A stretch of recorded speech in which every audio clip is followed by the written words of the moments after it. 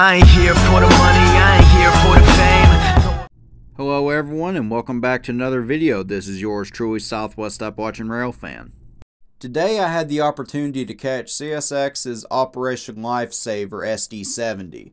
This time it was on the Chattanooga sub, not the SNNA. And it also ran during the daytime. During this chase, I had the chance to revisit one of my old rail fanning spots along the Nickajack Lake in Jasper, Tennessee. Once 4568 made its way past Nickajack Lake and through Jasper, Tennessee, I was headed on my way up to Tullahoma, Tennessee to document him again. One of the last locations I was going to go to, being Normandy and Wartrace, Tennessee, my phone battery died right at North Tullahoma. So I had to stop the chase after I got my last somewhat of a pacing shot. Without further ado, let's jump right into today's Southwest Appalachian Railfan production.